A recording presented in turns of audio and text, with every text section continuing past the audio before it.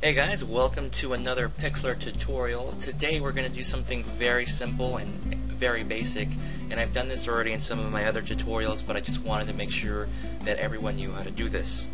Uh, today we're going to be working on two simple tools, I think, uh, the crop tool and the resize tool, uh, just so that whenever you take pictures with your digital camera and you'd like to be able to edit them really easily, um, you can just go into Pixlr and do it yourself. So let's get started with that.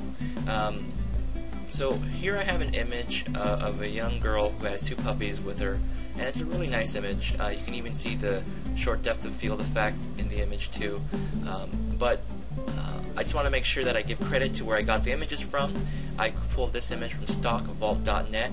Uh, the photographer was Prakash Hatvain, Hatval. I'm not sure. I'm sure I'm not saying that completely correct, but uh, you can visit this website, and I'll put a link uh, on my YouTube page for you guys to visit this, uh, find this image. So going back to the image, uh, first I always tell you guys to notice that uh, down here in the bottom left it mentions the resolution, and the resolution is fairly large. So if you wanted to put this into like let's say a website or a Word document, you kind of want a smaller size. So go to Image, Image Size, and you can change the width to let's say uh, 1200, and and keep constrained proportions, and click OK. Uh, now the image is still fairly large, and we're going to change the zoom down here in the bottom left, change that to 100, meaning that's the full size of the image. I'm even going to cut it down just a little bit so I can actually work with it on my screen. Okay, now the next thing is, uh, how about just resizing it in general? Um, if you use, if you go to Edit, Free Transform, or hit Control T, you get these uh, this box around your image, and this will let you uh, resize it to how you want it uh, visually, instead of changing the resolution, going through Image and Image Size. So in this case, I'm going to hold uh, I'm gonna just grab on one end and I'm gonna change the image. And as you can see, you can sort of resize the image however you want.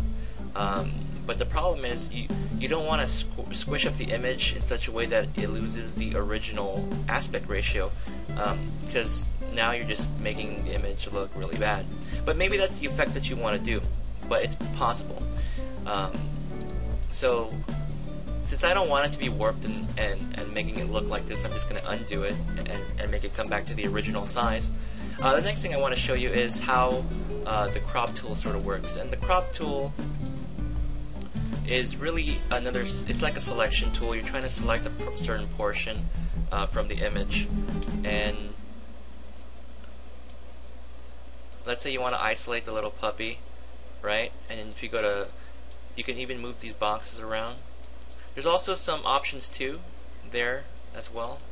Uh, but let's say for now we want to crop the dog out and if you click away and you click yes it'll isolate the image of the puppy and that's what you get. Now I'm going to jump back to the original image.